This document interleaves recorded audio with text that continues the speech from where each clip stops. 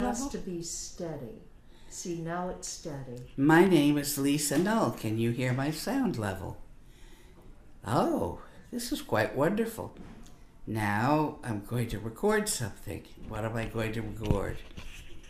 Do not take a bath in the Jordan, Gordon, on the holy Sabbath of the peaceful day, said the huntsman playing on his old bagpipe, boring to death the pheasant and the snipe, boring the ptarmigan grouse for fun, boring them worse than the nine-bore gun, till the flaxen leaves where the prunes are ripe heard the tartan wind a droning in the pipes, and they heard Macpherson say, Where do the waves go?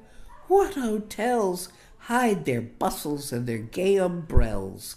And will there be room for me? There is a hotel at Ostend, cold as a wind without an end, haunted by ghostly poor relations of Bostonian conversations bagpipes rotting through the walls, and there the pearl ropes fall like shawls with a noise like marine waterfalls. And another little drink wouldn't do us any harm, pierces through the sabbatical calm. And will there be room for me? So do not take a bath in the Gordon Jordan on the holy Sabbath of the peaceful day, or you'll never get to heaven, Gordon Macpherson.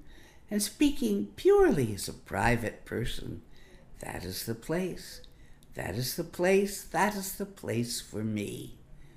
By Edith Sitwell. That was beautiful. Thank you. Now, can we hear it? Yeah, sure.